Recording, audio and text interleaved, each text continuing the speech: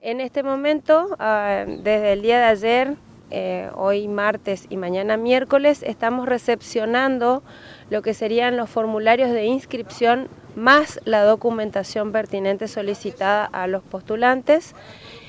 a fin de realizarse también la revisión médica que lo estamos haciendo aquí en Casa de Campo en la ciudad de Saespeña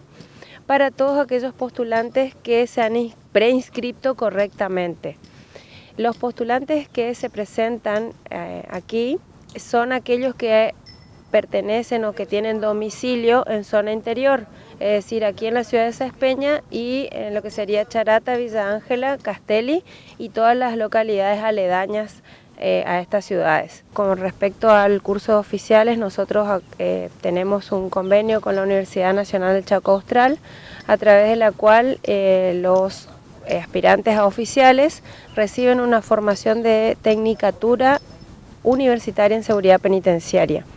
El horario es de 8 a 13, eh, digamos cortamos ahí un ratito y después continuamos de 14 a 19. Tenemos un cupo de 200, sería para agentes, cupo de 200 agentes y 20 oficiales para la zona interior nada más. Actualmente nosotros hemos recibido hasta ahora media mañana aproximadamente 200, 200 carpetas acá de la zona interior.